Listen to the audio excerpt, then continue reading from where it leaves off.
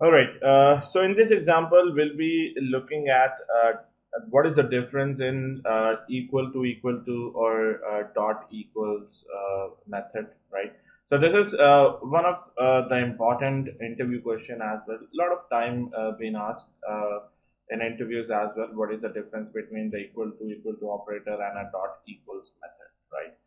So I'll be uh, covering this uh, with a very practical example and I'm going to show you uh, what exactly the difference uh, uh, in these two uh, comparison operator or, or an equals method, why we use double equals or where we use dot equals, right?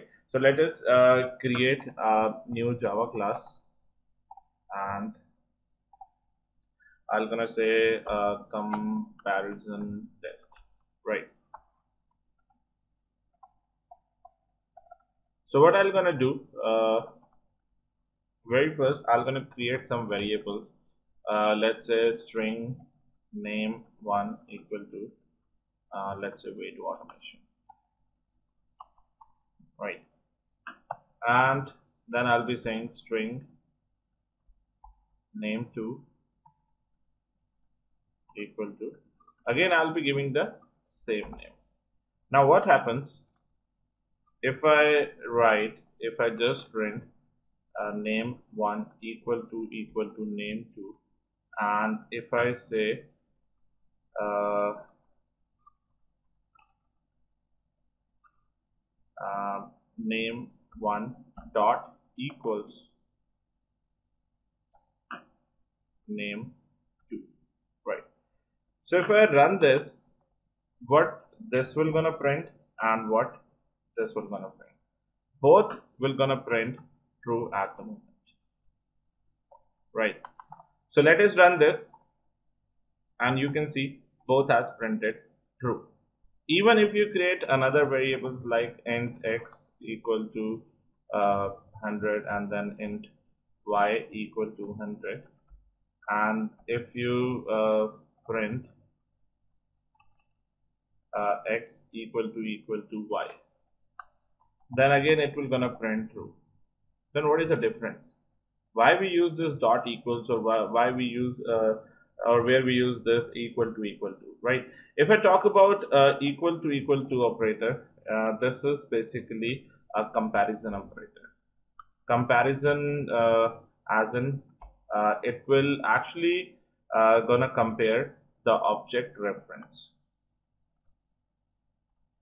if the object references are same or not if the object addresses are same or not. So this is generally comparison operator is used uh, to validate whether the object reference is same and the addresses are same.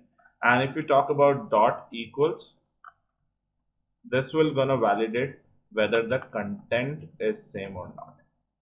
Right. So uh, over here we have just given the content right as in uh, this name one holds this value this name two holds this value right? So these two variables holds uh, the same value and if we say name one equal to equal to name two it actually gonna print true itself. Because we are doing a content uh, verification over here. If, if the content in this variable is equal to the content in this variable or not.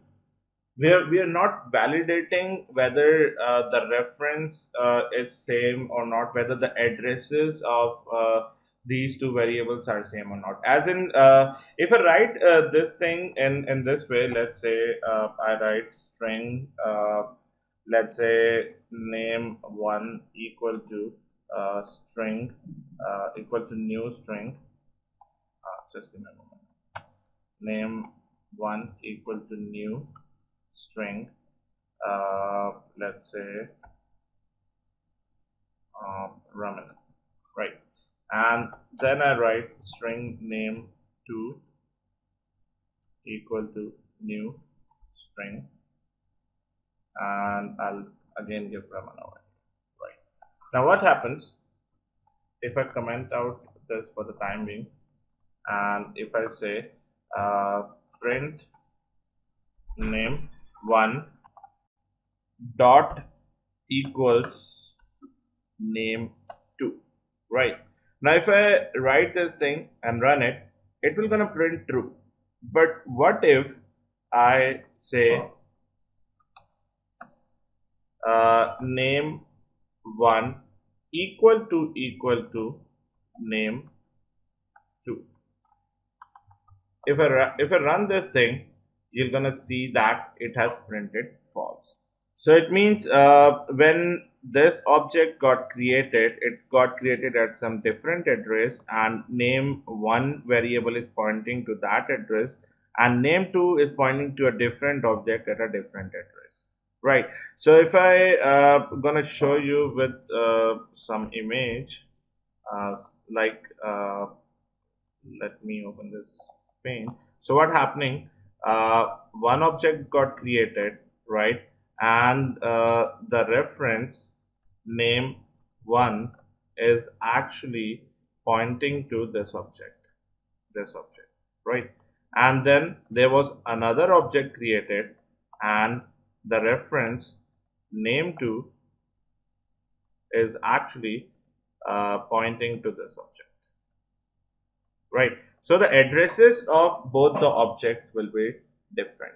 And when we are saying equal to equal to we are actually uh, comparing the address reference. We are actually comparing the reference of these objects right? So this is a difference. This is a difference where uh, dot equals works and uh, equal to equal to it returns fail when the addresses got uh, different. But uh, what happens if if same reference if if both the references are pointing to same object address then it will gonna return true right? Now how how the, the two references how how we can implement this thing? How the two references can point to the same object. So in order to do this uh, if we don't want uh, that multiple objects if we want that reference uh, like n number of reference that I create and all the references should point to the same object then in, in order to implement that I need to implement something called as singleton design pattern right? There is a singleton design pattern. This is one of the most important and uh, uh, asked been asked many times in interviews as well that what is singleton design pattern. Now with the help of a very simple example i'm gonna demonstrate you what singleton is right? And then i'm gonna show you that how we can achieve this thing as true when we compare two object references right? So let, let us do one thing. Uh, let us create another class over here and name that class as singleton test right? Now there are some uh, predefined rules of uh, when we are implementing singleton the very first thing is that uh, the singleton uh, class should have a constructor as private so that no one should be able to create an object of this class externally. So I'm gonna write it something like this, private singleton test, right? So if I just uh, print over here, creating object. Now what happens if I uh, go to my comparison test and I'll just comment out this thing and if I simply write uh, singleton test s equal to new singleton test. See it won't allow me. Now alternatively uh, what I can do to uh, get the reference of this object to get to basically create an instance of this object. So uh, I can do one thing. Uh, I can create a method uh, that says public static and a method named get instance. And through this instance I can get the instance of uh, I can create an object of singleton test uh, class right? So how I'm gonna do that? The return type of this uh, will be a singleton test right? And it should actually gonna return uh, what I'm gonna do uh, I'm gonna create a variable uh, that again should be a private variable private static right uh, this should be singleton test. The return type uh, will be singleton test and I'll give it a name as instance equal to new.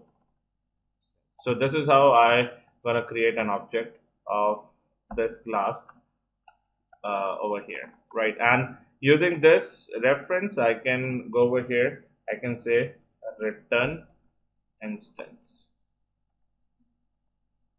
that's it. So what happens uh, in order to create an object of this singleton test I should be able to get it with the help of this uh, public method that is uh, singleton test that is uh, get instance right? So what I'm gonna do I can directly write over here uh, singleton test dot and I should be able to call all the static methods. So the static uh, method over here is get instance. So I should be able to create an object of this class right? So if I run this you're gonna see it will gonna print creating an object. And if I create another reference over here like s1 uh, let's say I name it s1 and this s2 and if I run this again so you can see only one object is created. It's not creating object and again and again. And both these references are actually pointing to the same object. Which means now if I uh, print if I say system out uh, print s1 equal to equal to s2 right? And if I run this you're gonna see it will gonna return true right? This is the same thing we were trying initially uh, when we were creating an object like this now you can see uh, if, if I just print s1 and s2 uh, I'll print s1 and then I'll print s2 you're gonna see both of them will gonna, gonna hold the same address. If I run this you can see. This is basically a hash code of, of the address uh, of the object that we got with this get instance method. Right so this is how uh, when we uh, compare two uh, reference variables uh, from uh, from the same object two different reference variables which are pointing to the same object the equal to equal to operator uh, is actually helpful over there. It will actually uh, gonna compare the reference, the addresses of uh, two reference variables, right? Of, of same object or of different object, right? So we have just seen uh, when uh, the values, uh, the content is same, then it will gonna print true, and the content is not same, then it will gonna print false. Whereas uh, if there are two reference variable pointing to different objects then their addresses will be different. Right? And with a singleton what we have achieved we have created uh, the object instance uh, using this get instance method so both uh, both variables both reference variables are actually pointing to same object there are two uh, like there are there there is only one object that got created and both these reference variable are actually pointing to the same object address. So that is why when we say S1 equal to equal to S2, it is actually validating the address of that object, right? The address that is stored inside these references and both references are actually holding the same object.